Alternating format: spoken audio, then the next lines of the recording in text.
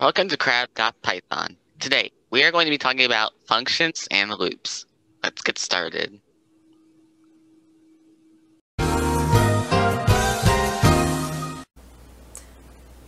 What do functions do? A function allows you to store small parts of code. Think of it as a variable that is for a group of print statements. So first, when we're making a function, we want to define it. So we can define a, a function using what's called def, D-E-F. And then we and then we type in what we want to name our function. Of course, knowing us, well, we're going to name it cheese. And they have parentheses here. And then just like if else statements, have a colon. And it has to be indented. Don't forget to indent. Don't don't forget to make sure it's indented. Indenting is very important. Very.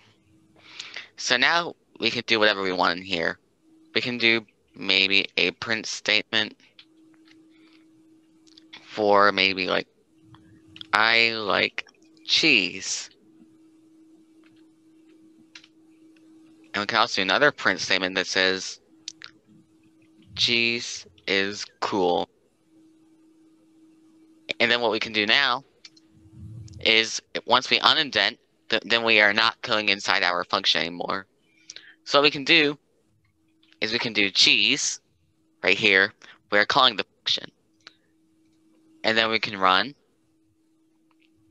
And then it prints these two. I like cheese and cheese is cool. So what it did was cheese ran the function. And the function is what's in, inside of here. Now, one more thing we can do with functions is add what's called parameters. So we can add a parameter that's called favorite. And we can type in maybe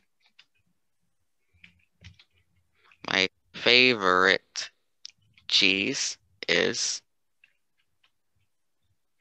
don't forget the space, and we can do favorite.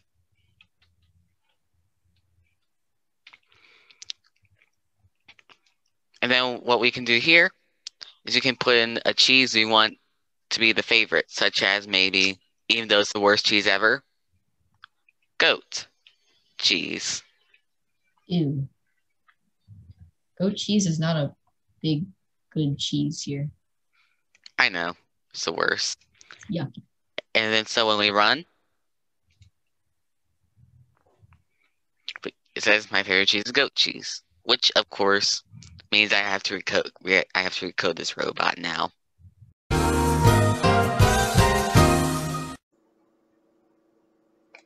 So let's talk about loops now.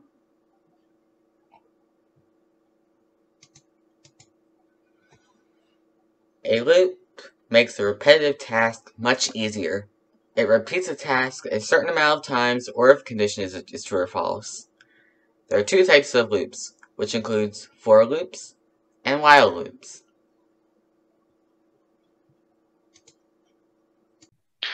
Here's an example of for loops in code. So first, let's start by typing a variable. Maybe let's do fruit equals not a vegetable.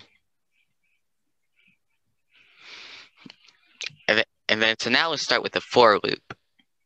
So we can do for letter in fruit.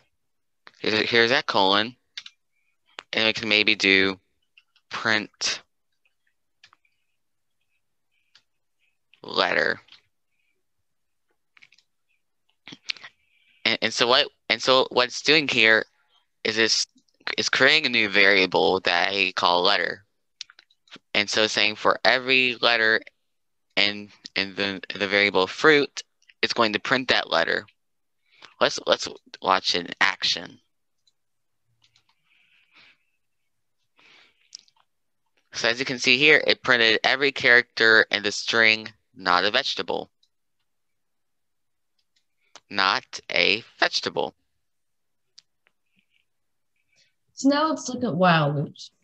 Um, while loops are pretty simple.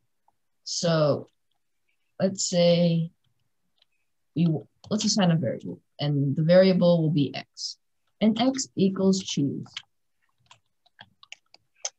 So what we'll do is we'll write while x double equals cheese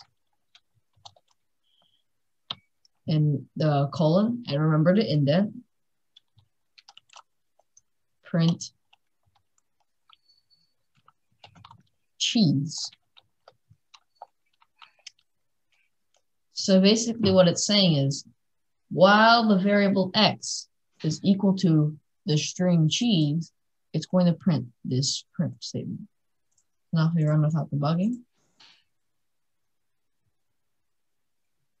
Yeah. Um, I wouldn't recommend you do this like crazily because you see my terminal is now very filled. Thank you for watching this fabulous video of Crab.Python. If you enjoyed this video, please hit that thumbs up button down below and subscribe. Yeah. Double thumbs up. hmm See you later. Bye. Ooh. Ah, no.